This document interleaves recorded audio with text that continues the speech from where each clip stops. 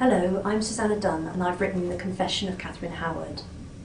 We don't know much about Katherine at all. We think she was probably about 17 when she came to court um, to serve in the household of Henry's new wife, uh, his fourth wife, Anne of Cleves. And we don't really know how it happened, but within six months, Henry got rid of his fourth wife and he was married to Katherine. He adored her. She was a woman without complications, without history, so he thought.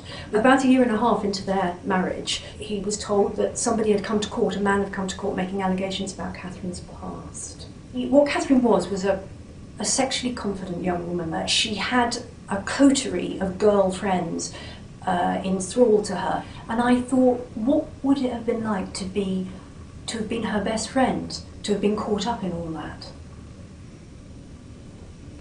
It felt to me like the beginning that night.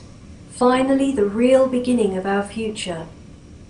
I'd never had any reason to doubt it, but if truth be told, I'd always been sceptical of our sudden, unexpected success. That was the evening, though, when I finally let myself believe it, when I allowed it to work its magic on me. What I was thinking as I looked around that room was, this is who we are the perfect queen and her faithful retinue. Now I wish I could go back, patter over the lavish carpets to tap us on the shoulders, whisper in our ears, and get us out of there alive. Little did we know it, but that night we were already ghosts in our own lives.